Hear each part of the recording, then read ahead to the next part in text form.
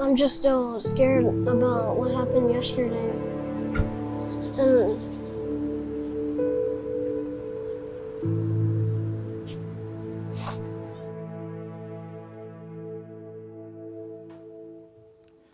Tonight, the city of Uvalde is mourning the loss of 21 of their own, 19 students, some 8, 9, and 10 years old, as well as two teachers who are also mothers.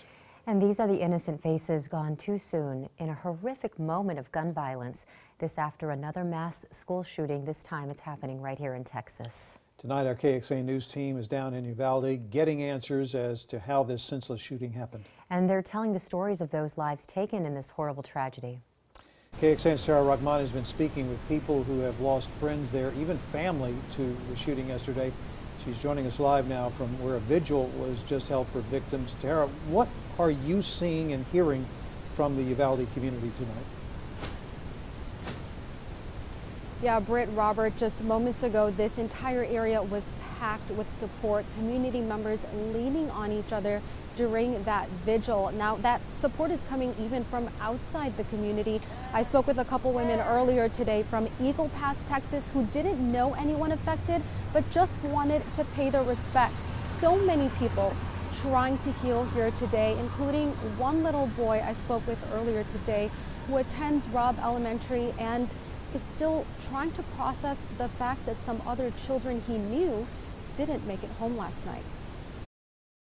Giovanni Gomez loves playing football. He also likes science. I got to do experiences stuff. Now, the nine year old is grappling with emotions even adults are trying to understand. It's hard for all the parents that lost their kids.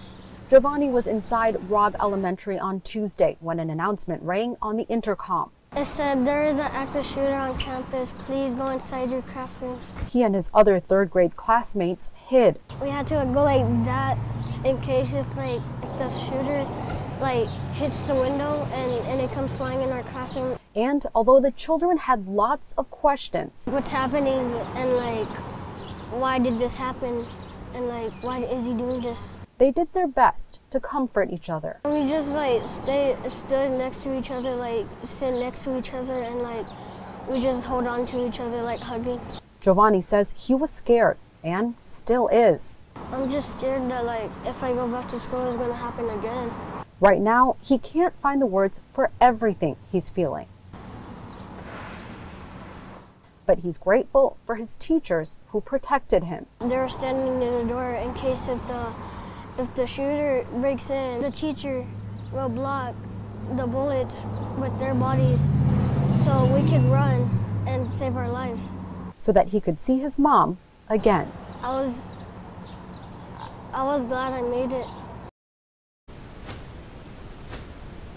Now, Giovanni's parents tell us that they are very much aware that he could have been one of those victims, and they are very grateful tonight that they're able to hug him. Now, there is a memorial fund set up by the school district at this point for all these grieving families, whether it's for medical expenses or those funeral costs. You can find that information online at kxan.com. Britt, Robert? No child should ever have to say those things or think those things. Tahera, thank you so much. He's a strong little boy.